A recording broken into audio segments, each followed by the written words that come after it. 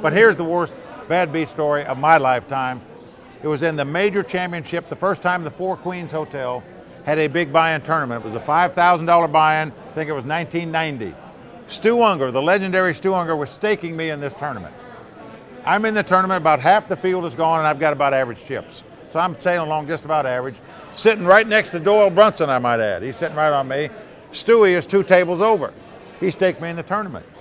All of a sudden, the guy raises, and I raise, and this guy called, and he goes all in, and I call, and this guy calls.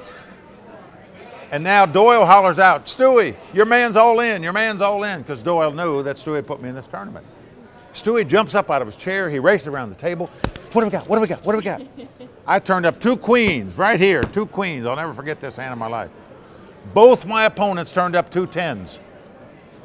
Both my opponents had a pair of tens. I had two queens. The flop comes jack, nine, deuce, seven, eight. They made a straight and split this pot. Doyle said, I've been playing poker for over 40 years. I've never seen that in my entire lifetime. Stu Ungar, who staked me, his head's like this.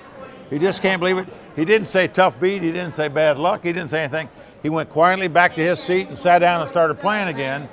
And let me add, Stewie, not only did he win that tournament, when he got to the final table, he literally broke every player at the final table in about an hour and 45 minutes and won that tournament the first time they ever had a big buy-in tournament. But two queens, get rid of those things. Uh.